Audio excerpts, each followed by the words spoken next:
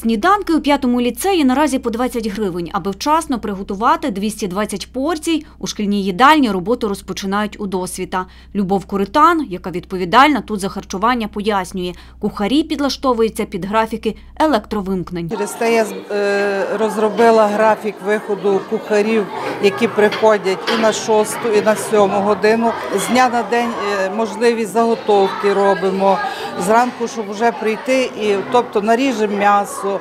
е, Трошки протушимо, аби менше було затрат е, на рано приготування цих страв. Я встановила ще газову плиту. Якщо от світла немає, ми все підігріваємо.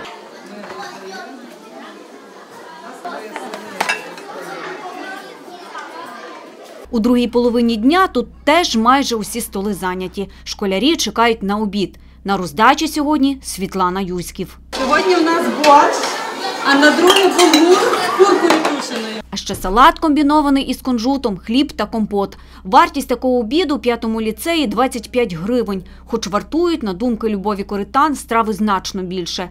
З січня пропонують підняти ціну на комплексний обід до 45 гривень. Звичайно, це ем, дуже низька е, вартість на харчування, так як з кожним днем ціни збільшуються і пальне збільшується, треба довозити все необхідне.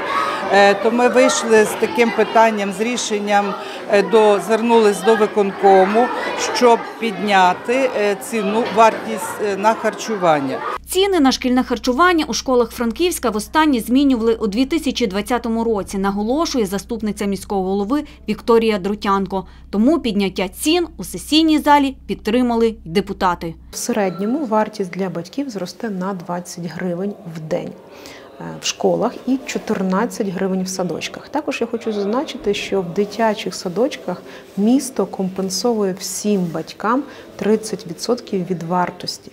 Тобто батьки платять лише 70% від вартості харчування. Здорожчання вартості харчування у місцевих дошкільних закладах та ліцеях почне діяти вже після зимових канікул.